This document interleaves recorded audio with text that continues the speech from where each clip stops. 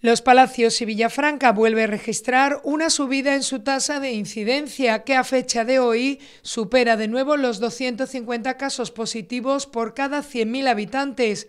Concretamente, se sitúa en 259. Esta cifra coloca al municipio en situación de riesgo extremo, lo mismo que ocurría hace exactamente una semana. En cuanto a otras cifras actualizadas por la Consejería de Salud y Familias, en los Palacios y Villafranca se contabilizan como contagiados un total de 100 vecinos en los últimos 14 días, de los que 41 han sido diagnosticados de COVID en la última semana.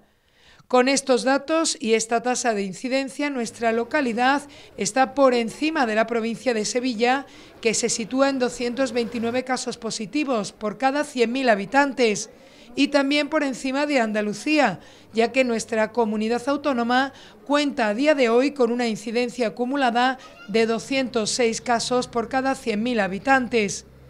Desde las autoridades competentes se sigue insistiendo en no bajar la guardia ante el virus y cumplir con las medidas establecidas en los protocolos creados para frenar la propagación y el contagio por COVID.